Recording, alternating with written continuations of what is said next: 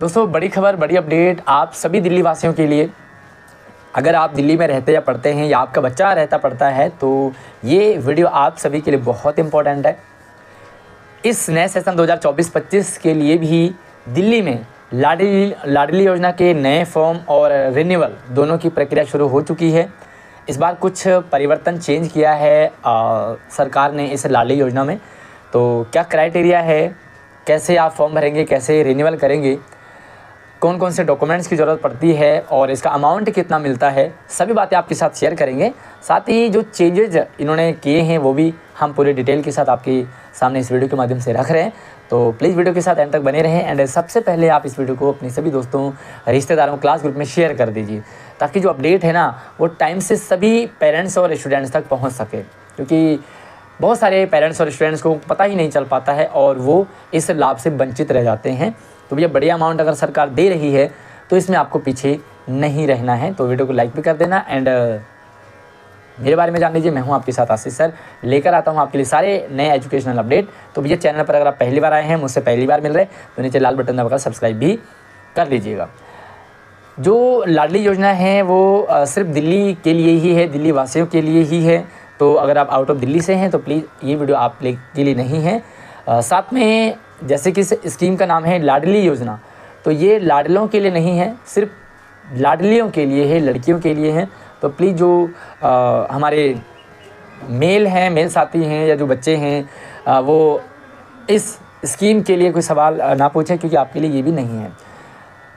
तीन चीज़ें हैं तीन चार चीज़ें इसमें। एक तो हम नया फॉर्म भरते हैं दूसरा हम रिन्यू करते हैं तीसरा रिन्यू कब कब होता है? कौन कौन से डॉक्यूमेंट्स चाहिए होते हैं? और इसका अमाउंट कितना मिलता है? और इस बार चेंज किया किया है।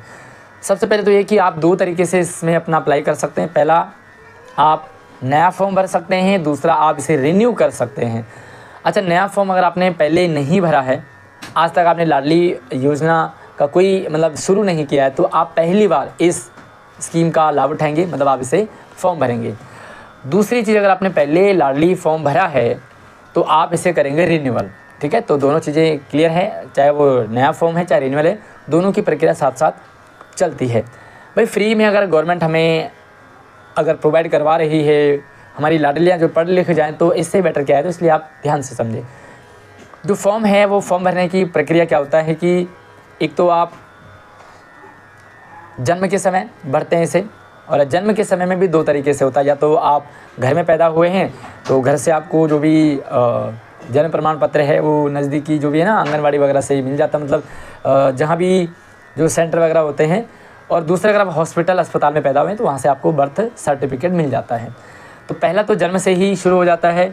दूसरा इसका होता है पहली क्लास से। जब आप पहली क्लास में जाते हैं मतलब जब आप स्कूल में जाते हैं तो आप लाडली योजना का लाभ मतलब लेने के लिए तैयार हो जाते हैं। तीसरी बार आप इसे या तो नया फॉर्म भरते हैं या इसे रिन्यू करते हैं, वो करते हैं छठी क्लास में, है ना? तो सबसे पहले जन्म, उसके बाद स्कूल में एडमिशन फ़र्स्ट टाइम तीसरी बार जब आप छठी क्लास में एडमिशन लेते हैं, उसके बाद चौथी बार आप इसे नाइन्थ में या तो फॉर्म भरेंगे या रिन्यू करेंगे, उसके बाद इलेवेंथ में एंड फाइनल में आपको ये ट्वेल्थ में फिर से प्रोसीजर करना होता है और फाइनली इसका अमाउंट आपको मिल जाता है। तो ये तो है क्राइटेरिया मान लीजिए आपने जन्म के समय नहीं भर पाए तो आप पहली क्लास में जब एडमिशन होता बच्चे का, तब भर सकते हैं। मान लीजिए आप पहली में भी रह गए, जन्म में भी रह गए, तब आप छठी क्लास में इसको भर सकते हैं। छठी में भी रह गए तो भैया नाइन्थ में भर सकते हैं। ठीक है, ये तो प्रक्रिया है। दूसरी चीज़ है, मान लीजिए अपने जन्म के समय भरा तो अब आप इसे पहली क्लास में जब एडमिशन होगा तो आप नया फॉर्म नहीं भरेंगे, आप इसे रिन्यू करेंगे। अगर आप नया फॉर्म भर देंगे तो आपको दिक्कत आ जाएगी, क्योंकि जो पहली वाली किस्त है, वो आपकी हट जाएगी, ख़राब हो जाएगी। तो आपको नया फॉर्म भरना है या रिन्यू करना है, वो भी आप ज़रूर समझ लें। है ना? तो मुझे आप कमेंट सेक्शन में बताइए पहले तो कि आप नया फॉर्म भरना चाह रहे हैं या आप रिन्यू करना चाह रहे हैं, ठीक है? तो बहुत सारे सवाल भी मेरे पास आ रहे थे कि सर अमाउंट कितना मिलता है और बैंक कौन सा होना चाहिए, ये भी कुछ मेजर डाउट है। तो आप ये ध्यान रखिए कि आपका रिन्यू है या फ़र्स्ट टाइम आप फॉर्म भर रहे हैं। इसके लिए आपका बेसिक सा डॉक्यूमेंट चलता है, आपका जन्म प्रमाण पत्र होना चाहिए तो ये दिल्ली का ही होना चाहिए आउट ऑफ़ दिल्ली से अगर आप हैं, आपका जन्म प्रमाण पत्र है तो आपको इसका बेनिफिट नहीं मिल पाएगा। अगर आप आउट ऑफ़ दिल्ली से हैं तो जो भी है, आप दिल्ली का या आपके पास प्रमाण पत्र नहीं है तो आप बना लीजिए, आपको इसका लाभ मिल जाएगा। ठीक है? दूसरी चीज़ है कि आपको इसमें चाहिए होता है दिल्ली का रेजिडेंस प्रूफ रेजिडेंस प्रूफ का मतलब आप दिल्ली में रहते हैं तो आपके पास कोई भी प्रूफ होगा। पहचान पत्र हो सकता है, आपका आधार कार्ड हो सकता है, आपका बिजली का बिल हो सकता है, राशन कार्ड हो सकता है, जिसमें बच्चे का नाम हो। ठीक है? बेसिकली हमें क्या चाहिए? बच्चे का नाम चाहिए राशन कार्ड में। बाकी अगर आधार कार्ड बनाए तो बच्चे का बना होगा। और जो भी है सिस्टम है, बच्चे का नाम होना चाहिए और दिल्ली का होना चाहिए। मान लीजिए आपके पास दिल्ली का कोई प्रूफ नहीं है तो अब आप मकान मालिक से रिटर्न फॉर्मेट में भी लिखवा सकते हैं कि ये बच्चा हमारे घर में किराए पे रहते हैं, इतने साल से रहते हैं और इनका ये बच्चा है, वो मतलब इस स्कूल में पढ़ता है तो जो भी रिटर्न फॉर्मेट में वो भी वैलिड माना जाता है। लेकिन आपको दिक्कत आ सकती है, इसलिए आप अपना वैलिड जो है दिल्ली का प्रूफ बनवा लीजिए, क्योंकि अगर कई बार आपको बीच में अटकना पड़े या दिक्कत आ जाए तो शायद आपको वहाँ पर प्रॉब्लम हो सकती है। तो एक सा, आ, साथ में इसमें क्या चाहिए? एक फ़ोटो चाहिए होती है जो बच्चे के साथ मतलब मम्मी पापा के साथ बीच में बच्चा हो और ये फ़ोटो जो आपको सबमिट करनी होती है। इस बार से इन्होंने पहले क्या होता था कि ऐसा सिस्टम नहीं था लेकिन इस बार इन्होंने पहले क्या था कि रिटर्न फॉर्मेट में चल जाता था। लेकिन अब इन्होंने क्या कर दिया उसमें इनकम सर्टिफिकेट को मस्ट कर दिया है।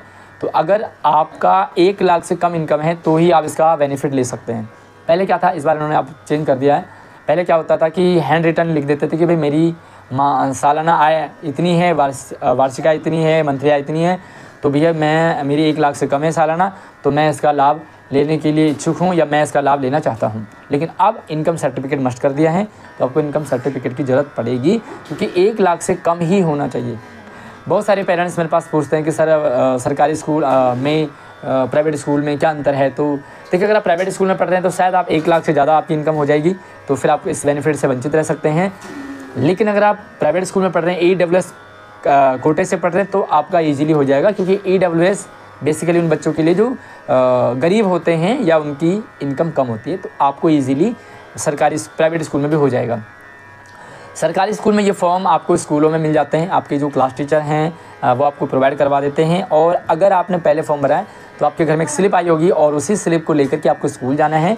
आपको कोई नया फॉर्म भरने की ज़रूरत नहीं है, आपका रिन्यू हो जाता है और ये आगे कंटिन्यू होता रहता है। ठीक है? इसके बाद हमारे पास सवाल आ रहे हैं कि सर बैंक देखिए तो बैंक पहले कोई मस्ट नहीं था। मतलब पहले भी था लेकिन ज़्यादा इस पर फोर्स नहीं किया गया था।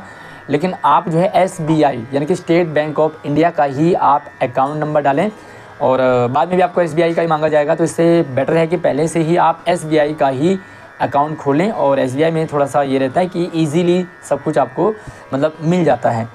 अच्छा इसका अमाउंट की बात करते हैं तो अमाउंट में क्या है कि आ, इसका मंथली किस्त की तरह सॉरी मतलब जैसे किस्त होती है अगर आपने जन्म के समय भी भरा है फिर आपने पहली में भी भरा है फिर छठी में भी फिर नाइन्थ में भी फिर इलेवंथ में भी फिर ट्वेल्थ में भी तो सिस्टमेटिक वे में अगर आप करते हैं तो आपको मिलते हैं नाइन्टी फाइव थाउज़ेंड पचानवे हज़ार। हो सकता है जब आपकी मेच्योरिटी डेट आए तो हो सकता है आपको ये अमाउंट ज़्यादा भी मिल जाता है कई बार है ना? तो क्योंकि टाइम पीरियड के हिसाब से बट एट प्रेजेंट टाइम में इसकी जो अमाउंट इसका अमाउंट है वो नाइन्टी फाइव थाउज़ेंड है।